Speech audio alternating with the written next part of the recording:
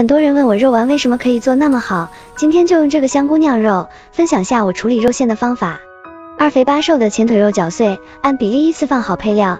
重点来了，先搅拌均匀，再像这样用力摔打九九八十一下，摔到它六亲不认、浑身发黏就可以了。搓好的肉丸放进洗净的香菇周围压紧，变成这个样子，放中锅蒸二十分钟。这个时候再简单调一个芡汁，小火咕噜三十秒，淋上蒸好的香菇酿肉，一口一个，太满足了。